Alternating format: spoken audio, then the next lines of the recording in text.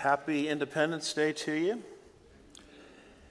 If you could take your Bibles and open them to the book of Colossians, chapter 2 and verse 8. I'm going to teach on something uh, this morning as we celebrate this special Independence Day, taking a break from our study in the book of Genesis. I'm going to teach on something this morning that, in all honesty, I wish the Lord had not impressed this on my heart. Because, from a human standpoint, there are countless other subjects I'd rather teach on than this. But a word needs to be said about it. The title of our message this morning is The False Gospel of Critical Race Theory the false gospel of critical race theory. It's interesting that the Apostle Paul warns us about being seduced by empty philosophies. He says, See to it in Colossians 2, verse 8, that no one takes you captive through philosophy and empty deception according to the tradition of men and according to the elementary principles rather than according to Christ. He warns here about false philosophies seducing Christians. Paul, uh, towards the end of his third missionary journey, made this statement. He says, For I know that after my departure, savage wolves will come in among you, not sparing the flock, also from among yourselves men will arise speaking perverse things to draw away the disciples after themselves. Therefore, be on the alert, remembering that night and day for a period of three years I did not cease to admonish each of you with tears. If the Bible is clear on anything, it's clear on false gospels coming into the church. And I believe that we are looking at a false gospel. This is something very sadly that your children are being taught, your grandchildren are being taught. Uh, evangelical church after evangelical church is falling sway to this. It's capturing entire denominations. And it's called something called critical race theory. Has anybody heard of that? Okay, at least I'm talking about something relevant. And this is a big subject to deal with. I'm going to try to deal with it today in these five parts. And I think by the time we finish this, you'll see what it is it's a substitute Jesus, an imitation Jesus, and a false gospel. Let's start off with the, the target. Who is being targeted? We haven't even defined this yet, but who is being targeted through critical race theory? Why would you bring this up in a church? Don't you understand that this is a political issue and it doesn't concern the church? That's where you're wrong. The church of Jesus Christ has been intentionally targeted with this teaching. Reading a couple of sentences here or there from an article by Trevor Loudon he says this at the Southern Baptist National Convention in Birmingham, Alabama, in June 2019, a resolution on critical race theory and intersectionality gained passage with a strong majority. The article goes on and describes a man in Southern Baptist circles, and I'm bringing up Southern Baptists as I'll bring up other people, not to attack a particular group or people, but to show you the pervasiveness of this mindset.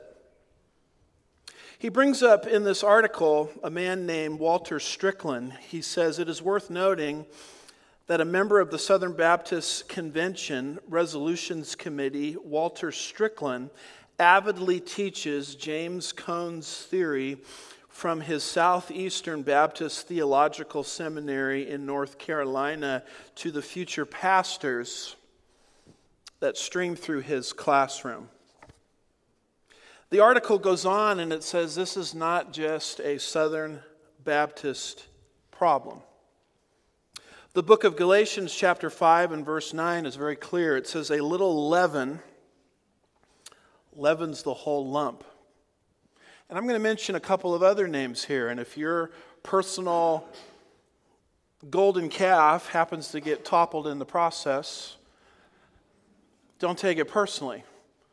Uh, I'm just showing you the pervasiveness of critical race theory. I want to show you that the evangelical church has been intentionally targeted with this doctrine that we're discovering and studying. Some of the best of the best of Christianity are now recycling, regurgitating, I might say, critical race theory. Another news article says this prominent local pastor and author Max Lucado, a gentleman that I happen to agree with on many, many things, got down on his knees on Sunday in San Antonio to beg forgiveness for his and his white ancestors' acts of racism and inaction. Here's uh, something else put out by a ministry that has been a blessing to me Calvary Chapel. When you critique Calvary Chapel, you have to be very careful because not all Calvary Chapel pastors are on the same page related to this issue. There's a great split happening within the Calvary Chapel movement, but part of that movement today is known as the Calvary Global Network, led by Brian Brodersen. And when you go to their website, it says this under institutional racism.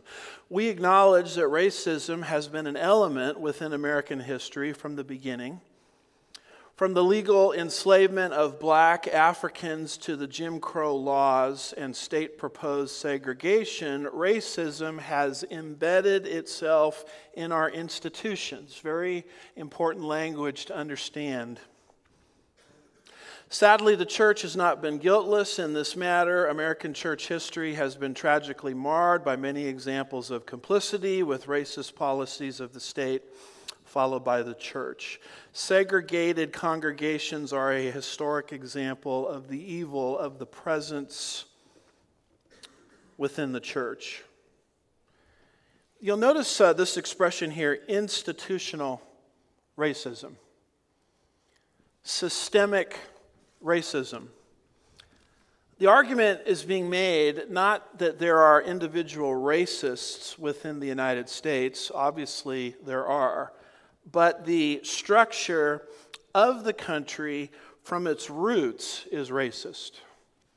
The very institutions of the United States, even to the present day, are racist at its core. This is all the outworking of critical race theory. The website goes on and quotes the book of James, chapter 1 and verse 27, which or verse 19, I should say which talks about the need to be swift to hear and slow to speak. The implication here is if you're not open to this type of doctrine and this teaching, you're not following exhortations in the book of James. This is how the Bible is being brought into this whole issue related to critical race theory. If you want to see critical race theory in action, I would encourage you, just for purposes of study, to bring up this YouTube clip.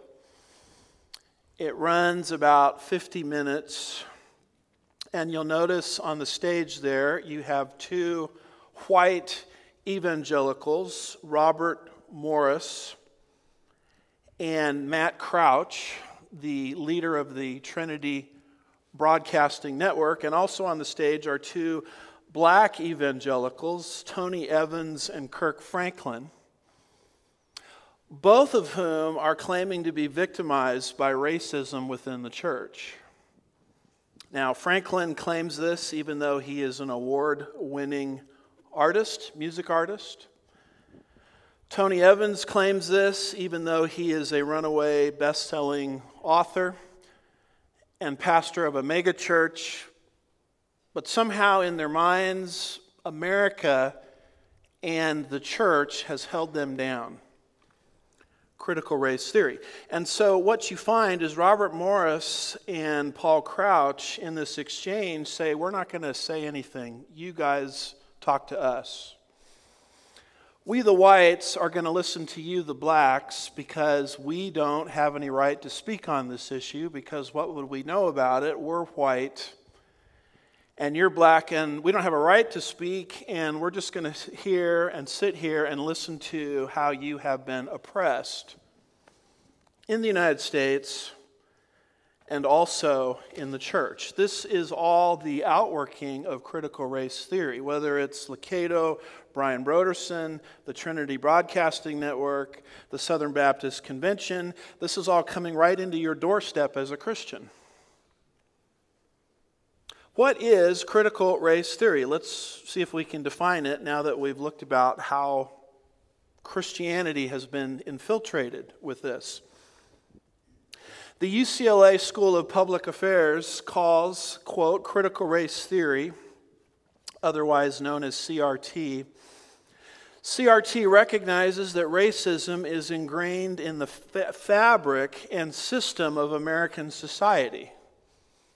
So you'll notice that it's not going after individual racists, which would be justified, it's going after the whole United States.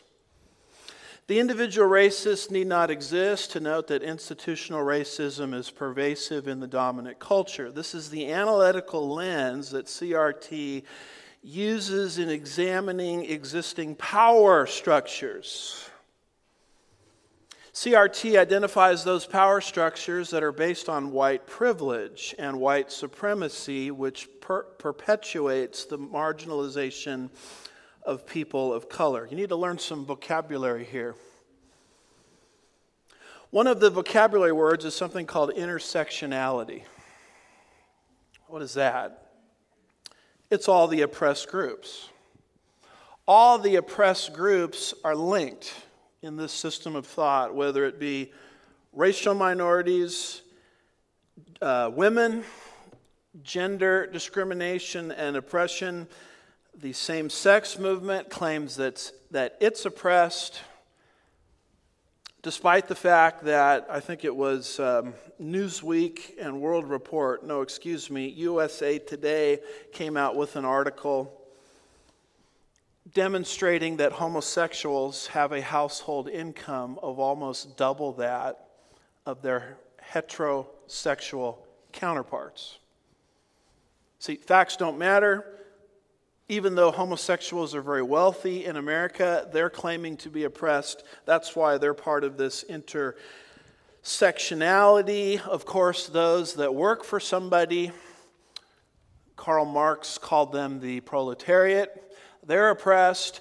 And where all of these groups link together is something called intersectionality. And if you are not one of those groups, then shut your mouth because you don't have a right to speak. Uh, this is why Paul Crouch and Robert Morris are absolutely silent in the presence of Kirk Franklin and Tony Evans, because what would you know about it? You're on the right side of the power structure.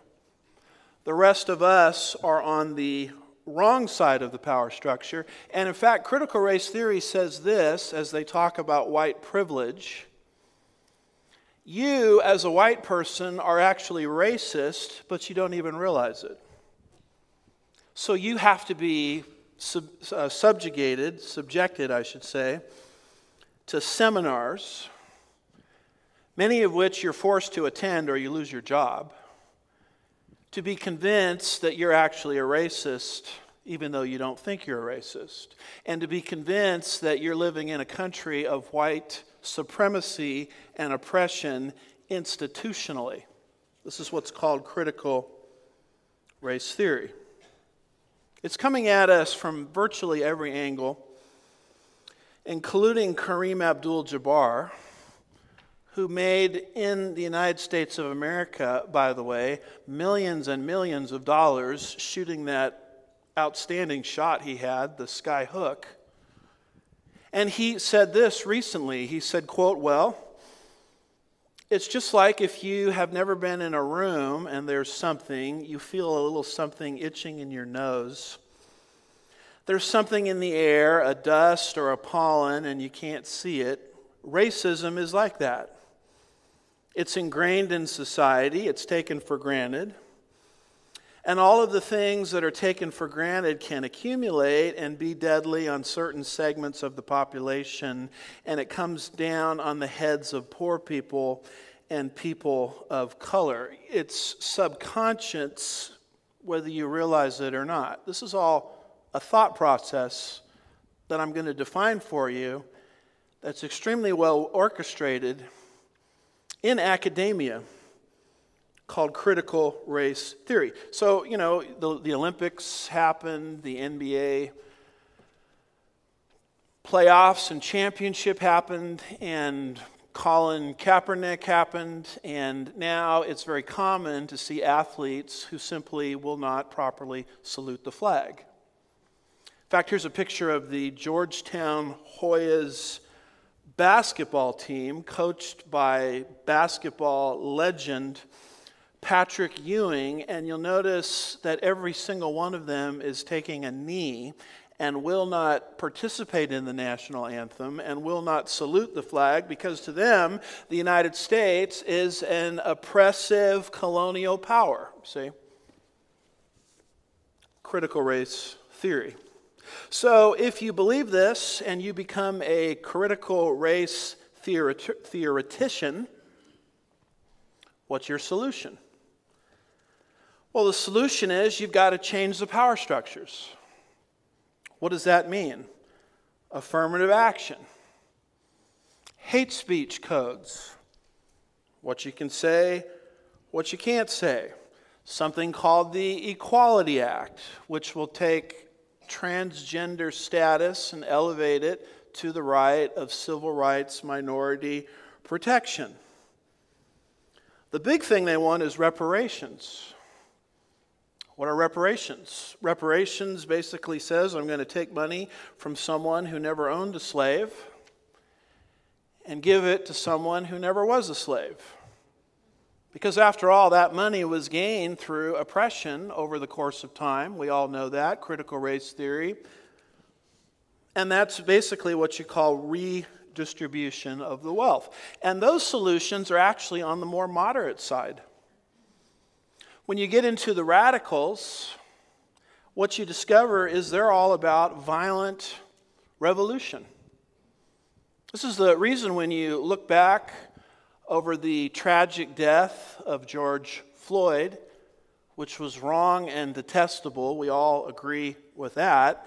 Suddenly, there came a movement of the burning of the cities, defund the police, and all of these sorts of things because this came from not from a racist, but from an, a society that inculcates racism. So here's a movement called Revolutionary Abolitions Movement. They've got a few goals here, 10 of them. Liberation will be won by any means necessary, they say.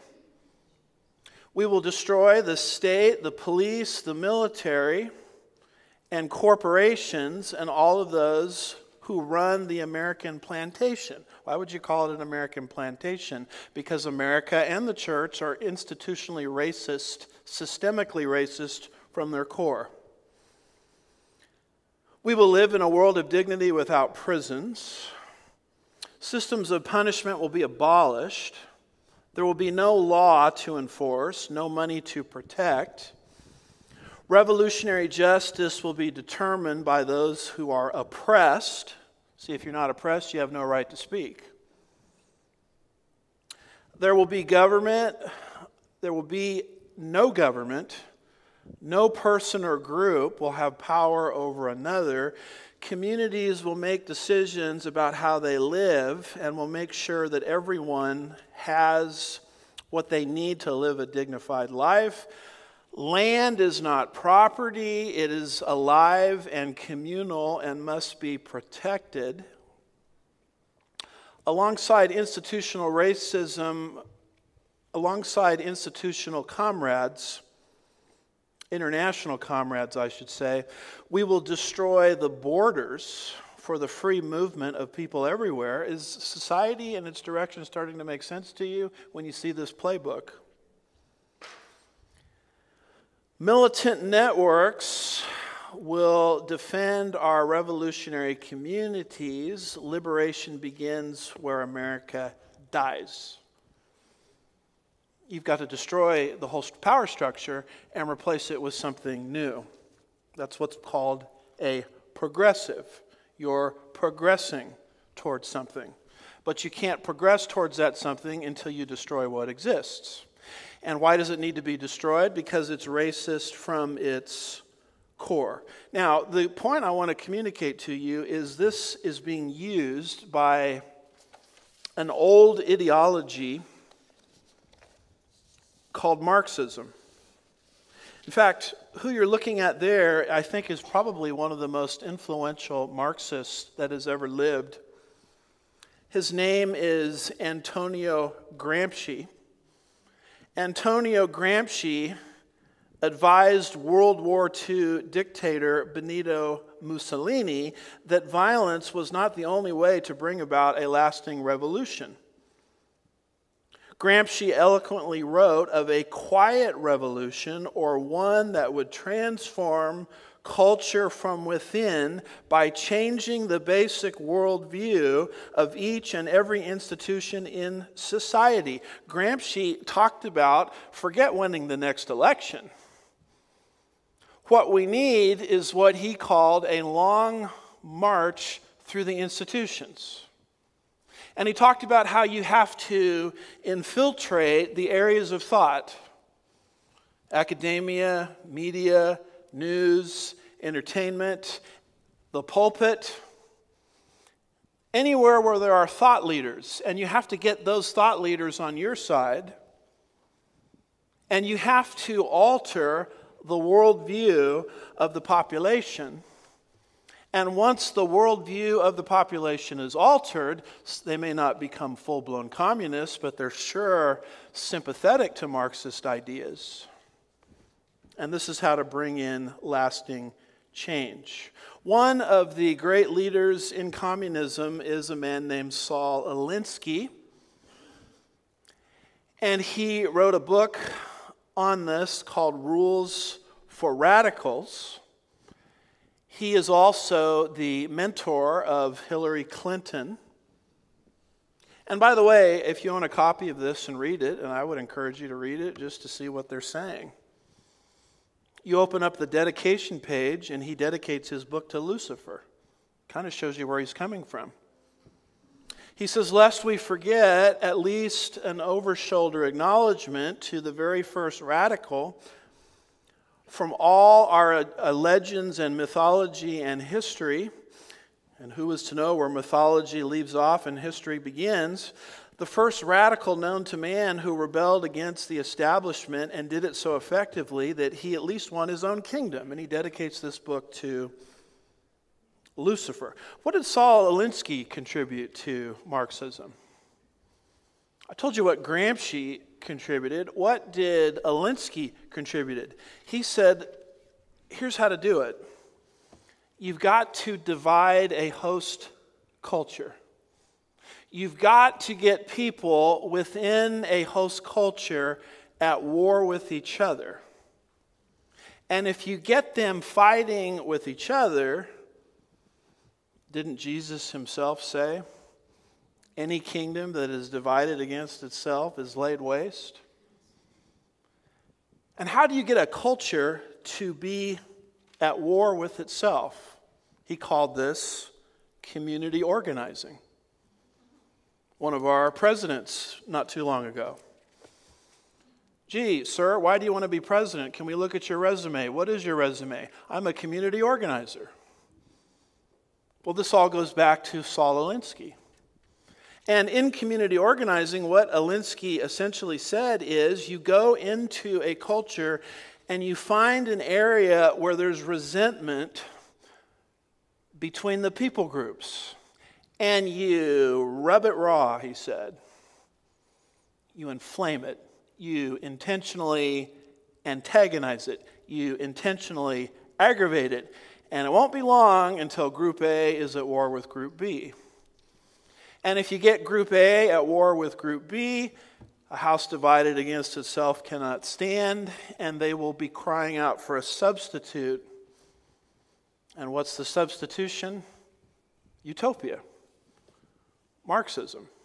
And this is how culture after culture after culture around the world, like clockwork, has been toppled by Marxists. It's a Gramsci Alinskyite strategy.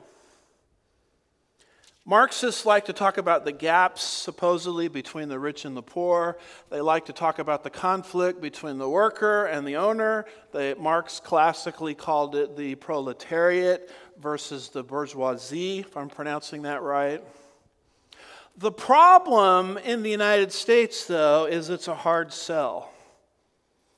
You don't have a lot of class tension in the United States like you do in other countries. Because in other countries of the earth, the station that you're born in, you're stuck in all your life. Not so in America. America, you can start at the very bottom and go right to the top with hard work and ingenuity, and the opposite could happen. You could start at the top and go right to the bottom through poor choices. So, how do you sell class warfare in a country like the United States? You can't. But here's what you can sell in the United States racial tension. Because America, going back into our past, the civil rights movement, going back into our past, slavery, etc., there is racial tension. There are people that are resentful over the past. And following the Alinsky playbook, you need to find where those areas of tension exist, and you need to talk about them over and over again.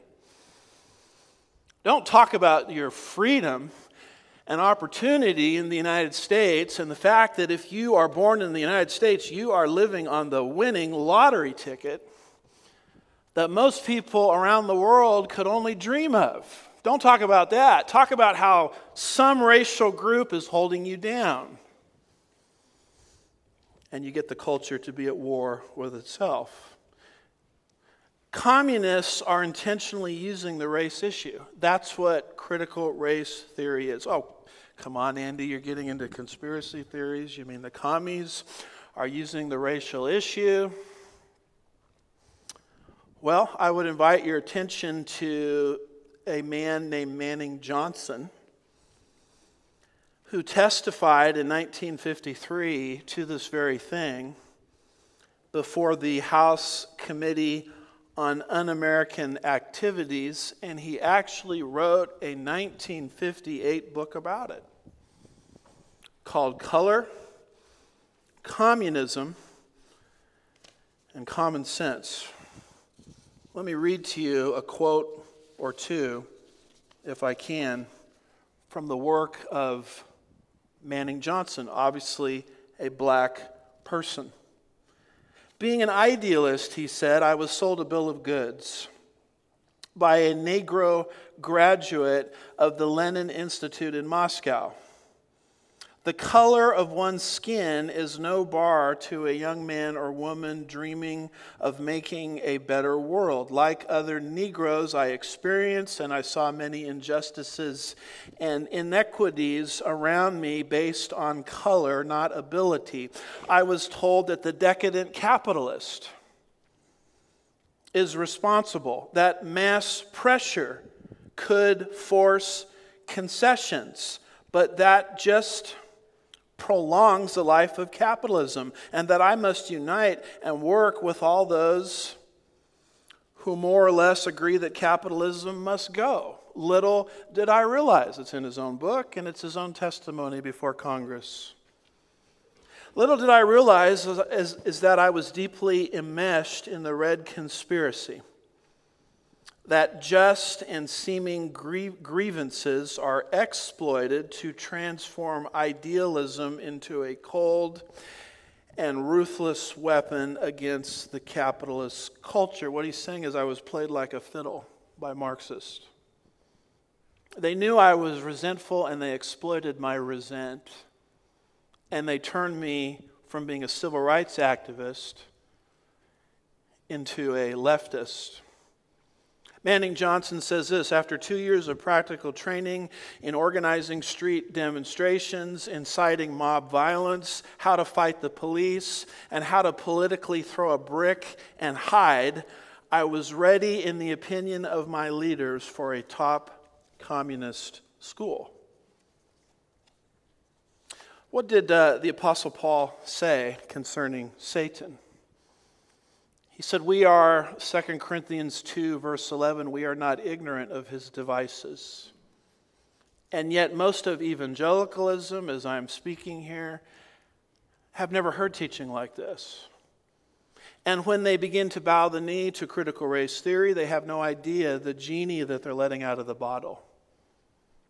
The Marxist utopia, redistribution of wealth which, by the way, always leads one direction. It leads to enslavement for everyone and hell on earth. There's a reason why Cubans get in rickety rafts and travel shark infested waters to make the journey from Miami, uh, excuse me, from Havana to Miami with the hope of touching down on American soil. Why would you risk your whole life to do that? Because they're obviously running from something. The last time I checked, those rafts don't go the opposite direction, they go one direction. There's a reason why the world is beating down our doors to the point where it's causing a border crisis to get into the United States. They're obviously fleeing from something. What are they fleeing from? They're fleeing from the utopias that they were promised the, the identical utopia via critical race theory that is now being taught and promoted by some of uh, evangelicalism's best and brightest. May God help us to understand the time period that we're living in. Number three, the progenitors. Who is teaching this stuff? Critical race theory. Well, one of the leaders you need to know is a man named James Cone. James Cone at Union Theological Seminary. Ah, he used his position as a teacher of theology to future pastors to teach critical race theory. This is not just a political issue, this is a spiritual issue. I put spiritual in quotes. He is the religious revolutionary of critical race theory. And he says, quote, any talk about God that fails to make God's liberation of the oppressed as its starting point is not Christian. What did he just do here? He just changed the Great Commission. The Great Commission is about changing the racist power structures of American society. By the way, his mentor was a man named Jeremiah Wright. You ever heard of that name? Who became the senior pastor of the United Church of Christ in Chicago that our president Barack Obama was under for 20 years. He says this look at this title here of a contribution he made to a book the black church and Marxism. What do they have to say to each other? It's not me up here dreaming up conspiracy theories. It's simply me with reading comprehension abilities, reading what he says. He's making the connection. I'm not making the connection. Manning Johnson is making the connection. I'm not making the connection. I'm just reading what they say. In his 1969 book, Black Theology and Black Power, Cone wrote, The time has come for white Americans to be silent. That is exactly what you'll see on that Trinity Broadcasting Network YouTube clip that I mentioned earlier.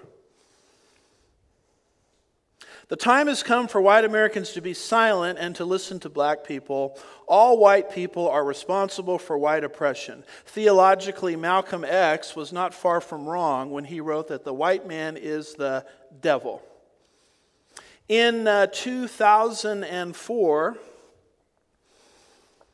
in an essay, Cone opined, quote, black suffering is getting worse, not better. White supremacy is so careful and evasive that we can hardly name it. It claims not to exist, even though black people are dying daily from its poison. Critical race theory. It's all the outworking of it. This, this was so well thought out in academia before it hit our culture. And it was thought out in the seminary. Another man you need to know is Derek Bell, because while James Cone was developing this at the theological level, Derek Bell was developing it at the legal area. I don't know why I see this as clearly as I do. I think it's because I have formal training in both theology and law. I can pick up on this just like that. Derek Bell writes It appears that my worst fears have been realized we have made progress in everything, but nothing has changed. America liberated the slave, doesn't matter.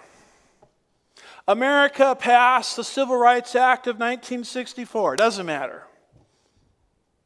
Because institutional racism is alive and well. So, what do we do to fix it? You've got to topple the structures, which are racist from their core. By the way, there's a copy of Derek Bell's book circulating in the law schools. There's edition one on the left, it's now in its sixth edition. This is common reading amongst lawyers in the law schools. It's all a critical race theory. And I want to show you this, at least this much, that this is a false gospel. This is not Jesus Christ. This is a different Jesus. It sounds like Jesus. They even quote Bible verses. But it's not the Jesus of the Bible.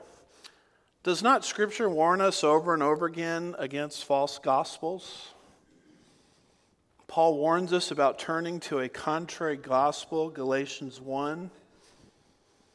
He warns us about a different gospel, 2 Corinthians 11, verse 4, and you can't have Jesus in bed with communism. You can try to make Jesus a social reformer. You can try to make Jesus talk about gaps between the rich and the poor, which is what critical race theory does. But at the end of the day, it's not who we just celebrated this morning at the Lord's table, it's not the Savior that came into the world to die in our place. It's a different Jesus. As the Southern Baptists in 2019 we're moving in this direction, you know, you ask yourself, this is the denomination of Charles Stanley, Adrian Rogers, heroes of the faith. Why doesn't anybody speak up? There's a few. Here's a man named uh, Tom Ascol, senior pastor, Grace Baptist Church in Cape Coral, Florida. Critical race theory, he says, and intersectionality are rooted in ideologies that are incompatible with Christianity. Paul told us not to be unequally yoked. Jesus has nothing in common with communism, as much as people try to make Jesus a young communist, socialist, revolutionary. It's a different ecclesiology. What is ecclesiology? Ecclesiology is the doctrine of the church. I mean, does the church have to sit around and contemplate and ruminate and think about racial tension all of the time?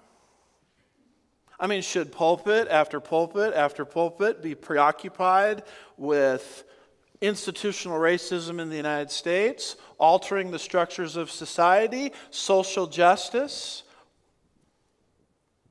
Why would I do that as a pastor when Jesus has already fixed the racial issue? A black person, a Hispanic person, an Asian person, a white person at the foot of the cross are all equal. because we're saved the same way. You know, we celebrate what Rosa Parks did. You want to see Rosa Parks 2,000 years ago? Look at Jesus. He went and ministered to a half breed, a Samaritan. To the point where the Samaritan was shocked that he was talking to her. Says in John 4, verse 9, for Jews do not associate with Samaritans. Jesus says, I do. And it was so powerful that the disciples sat there and stood around and they couldn't believe what he was doing. The, the, truth of the matter is, if you want to get into the subject of race, we've got the greatest book that's ever been written on the subject.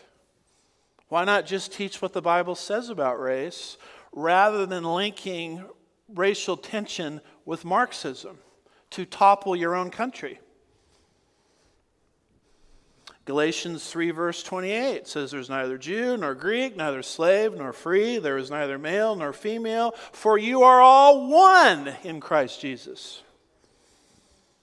Why would it matter the pigmentation of a person's skin if they're an image bearer of God just like me and they're saved the exact same way I am? Ephesians 2 and verse 14 says, For he himself is our peace, who has made both groups into one, and he broke down the barrier of the dividing wall. If you want to talk about race, let's talk about what Jesus already did on the topic. Rather than be naively swept into critical race theory, which is Marxism. Yet the church has become preoccupied with this. And as the church becomes preoccupied with this, they are placing into the church a barrier that God didn't put there. Trevor Loudon quotes the following in his article. He says, I was told recently of an episode that occurred in a church in North Carolina. The young pastor, all fired up with critical race theory, noticed that a black family and a white family in his congregation shared the same surname. He falsely concluded that the ancestors of the white family must have once owned the ancestors of the black family. From the pulpit, the pastor demanded that the white family apologize to the black family for their slave owning sins of their forefathers. The White family bravely refused to apologize for the non existent transgression, which created a major split in the church. That particular church no longer exists. This is what's happening as the church is being seduced by critical race theory. Critical race theory is a worldview. We know it's a worldview because it answers all of the questions that Christianity answers. Who am I? The Bible tells you that. A special creation from God. Where did I come from? From God's design. Why am I here? To glorify God. Where am I going? To heaven. How can I get there? Through Jesus Christ. Critical race theory comes along and says we have answers to all those questions too, but we're going to answer the same question differently. Who are we? Not image bearers of God, but you're a member of a group. It's all about group. Uh, the fancy name for this is political identity, special identity. The focus isn't the fact that you are an image bearer of God, but you're in an oppressed group. Critical race theory. What is our problem? we would say our problem is sin. Critical race theory says no, the problem is oppression. All the talk is about oppression, not the fact that we are dead in our trespasses and sins and need Jesus, but you're part of an oppressed group. What is the new birth? The Bible says the new birth is regeneration. Titus 3, verse 5 the impartation of divine life. What is regeneration in critical race theory? It's being woke. wokeness. You've got to read all these books and listen to all these seminars because you need to be woke. What does that mean? You need to be awakened to the subconscious racist that you already are, and you just don't know it.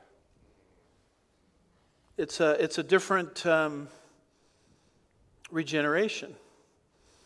What's the solution? We say the solution is Jesus Christ. Critical race theory says it's liberation through what? Regime change. Regime change, changing power structures. So the focus is no longer the individual salvation of the soul, but the collective salvation of the nation. You follow that? You can go into woke churches and it's all about collective salvation, not individual salvation. Because they've been infiltrated with critical race theory. What is our duty as Christians? Well, our duty is the Great Commission. Our duty is to pray, as Jim prayed today, that we may live a quiet and peaceful life in all godliness and reverence. I don't see any regime change here, do you? 1 Timothy 2 2. Get out there and change the structures of society. That's not at all what we're told to do. We're told to submit to authority as long as that authority doesn't contradict what God has called us to do. We are not hell raising people in the sense of being loud and obnoxious but we are working within the system the best we can to spread the salt and light of Jesus Christ in the Great Commission. That is not what is being taught in critical race theory. It's about change, transition, regime change, alter power structures through any means possible. What is our purpose? Our purpose is to glorify God. Did you know that's your purpose? Because God in history, whether it's creation or redemption, works in history to glorify himself. The Westminster Shorter Catechism says, What is the chief end of man? Great question. Man's chief end is to glorify God and enjoy Him forever. Critical race theory says, No, your purpose is you need to work for liberation. Further proof that critical race theory is another gospel, you have to look no further than the book Divided by Faith, which is making the rounds in Christian academia, making the rounds at groups like the Gospel Coalition, etc.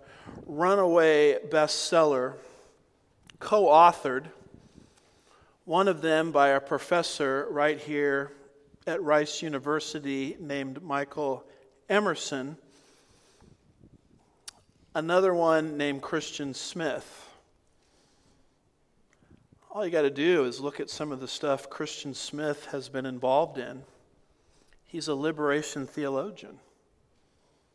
You say, well, what is that? It's taking Marxism and putting it in Christian terminology. Jesus is not the Savior, Jesus is the social reformer. And in this particular book, Divided by Faith, they blame institutional racism on the doctrine of original sin. Because if you believe in original sin, you're not talking about the collective sin. See that? And so you are actually a racist by teaching these ideas. The book goes on and it even blames Billy Graham for racism because Billy Graham taught premillennialism. What's that? It's the idea that you're not going to have the kingdom until the king comes. You see, that's institutionally racist. Because if you believe that, you're not working to bring in the kingdom here. It is very disheartening as a theology professor to be given a mandatory book by an institution that you're told to read when that book tells you that the doctrines that you were hired to teach are racist at their core. You want to put a wet blanket over your faculty? Do that. As the critical race theory minds work around the clock, how would they look at Sugar Land Bible Church? We're perpetuating racism because we're teaching original sin and we're teaching premillennialism. We've got a different gospel here, folks, a different Jesus. You know, it's interesting. You run into certain people, like Jane Fonda, for example, who allegedly came to Christ. And then you actually look at what church she was at when she came to Christ, and you learn that it was a woke social justice church. Kirsten Powers, news commentator, allegedly came to Christ. How did you come to Christ? Oh, I came to Christ under Tim Keller in New York, a social justice warrior. And you have to ask yourself at some point did those two women actually come to Christ? I don't think they came to Christ personally. And the reason I think that is they came to a Jesus that was different than this Jesus. They came to a Jesus who was a social reformer. They came to a Jesus who reaffirmed their progressive assumptions. That's why they gave it a hearing. But it isn't the true Jesus.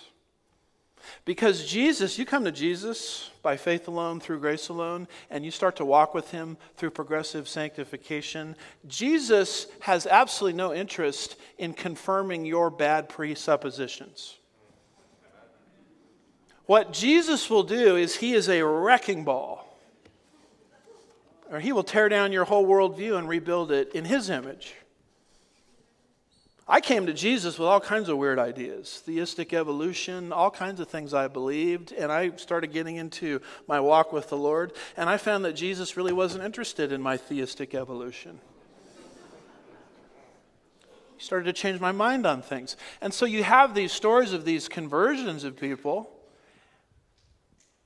and you wonder is this the right Christianity? Or is this the social reformer Jesus that they came to and they liked what they heard because that Jesus appealed to their itching ears? Well, we've done a lot here describing the problem. By the way, have you read John 16, 2 and 3 lately? It says, They will ban you from the synagogue. And yet, an hour is coming for everyone who kills you to think that he is offering a service to God. These things they will do because they have not known the Father or me. Your enemy is about to become people that think they're doing God's will. That's what he's saying here. I can't help but think of this, these verses as we talk about critical race theory. So, what is the answer? I don't know if I have an answer other than the Bible, the whole Bible, and nothing but the Bible. But at a human level, I never concede when somebody tells me that the United States of America is structurally racist. If you're going to tell me that there are people in America that are racist, yeah, you've got my ear there. But don't tell me that the whole structure is rotten. If you want to tell me that the police officer that killed George Floyd is a racist, yeah, you've got my ear there, but don't tell me that the whole police department is racist. The fact of the matter is, there isn't a country on the face of the earth that has done more to atone for the sins of its past than the United States.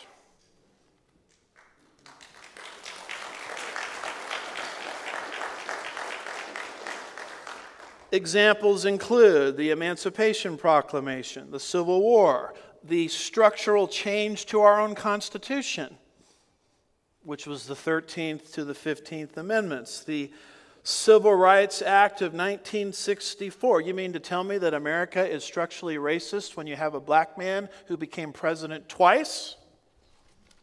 Doesn't make any sense. And uh, by the way, if you want to have a conversation about countries around the world that are structurally racist, still, I can give you some suggestions. Even today, nearly 160 years after America became one of the first nations to abolish slavery, there are still 94 nations that do not have laws criminalizing slavery. This led to the enslavement of 40 million people in the world right now.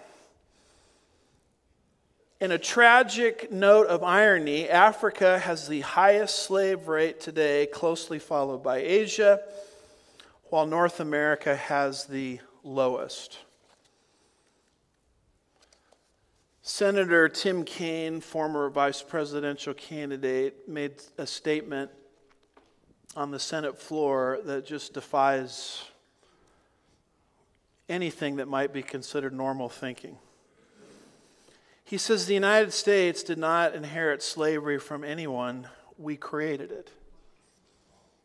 That's critical race theory the whole focus is the United States when slavery is alive and well around the world, primarily in Islamic countries.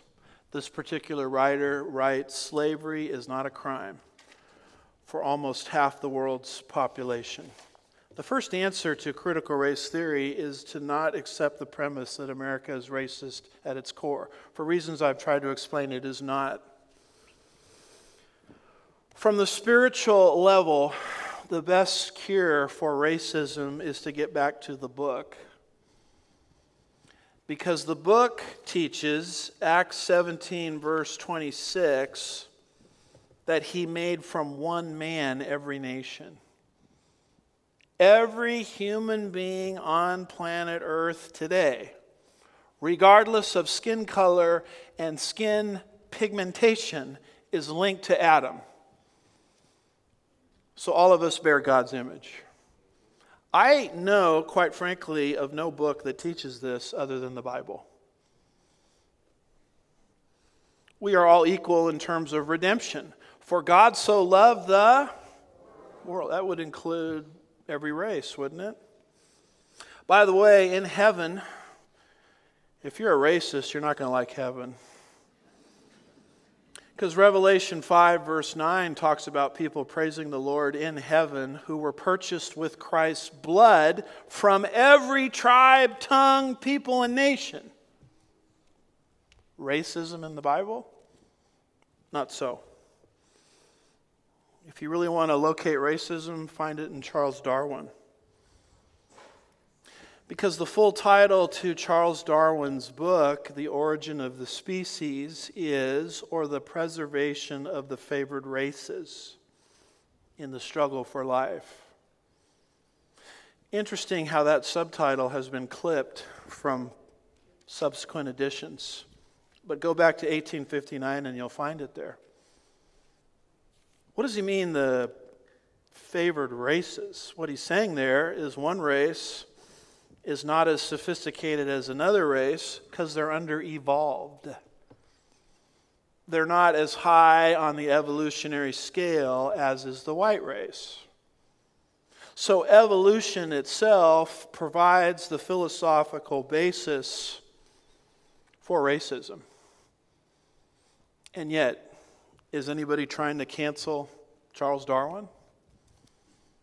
They're trying to cancel Christianity. But Christianity has done more to eradicate the issue of racism than any other single source. And we're being seduced into a Marxism which is not intellectually honest with this history. So, in conclusion, we've looked at the target Christianity, the definition of critical race theory, its progenitors, why we believe it's a false gospel and the answer. The answer from the human realm, the answer from the spiritual realm as well. The truth of the matter is, whom the Son sets free is free indeed. And there's a lot bigger problem that we have than institutional racism or slavery. It's slavery to sin. And the one that put us in that condition is the first Adam. The last Adam, Jesus Christ, came into the world to reverse that condition, which, by the way, he has successfully done through his death, burial, resurrection, and ascension. And his message, which is for your enslaved condition, don't trust yourselves to fix your problem. Trust me because I already fixed the problem. Whom the Son sets free is free indeed. And wouldn't it be spectacular on a Independence Day holiday to enjoy not just political freedom, but spiritual freedom because you now have trusted in the Savior? Whom the Son sets free is free indeed. And this is our focus here at Sugar Land Bible Church as the Spirit is convicting men and women of their need to trust Christ for salvation. Our exhortation is to follow through with that conviction and, in a single step, place your confidence in Jesus. Confidence or trust is another word of saying believe. Believe what Jesus did in your place. That's it. And that's the gospel. It's good news. And it really is the only thing that will set you free. Because whom the Son sets free is free indeed. If it's something that you're struggling with and need some more questions answered, I'm available after the service to talk. Shall we pray? Father, we're grateful for this special day. We're grateful also for warnings like this concerning false gospels. But more than that, we're grateful for the true gospel. We have freedom today because of the blood of the patriots. And we have spiritual freedom today because of the blood of your Son. Help us to commemorate these things on this special weekend. Bless our fellowship time that follows. We'll be careful to give you all the praise and the glory. We ask these things in Jesus' name. And God's people said,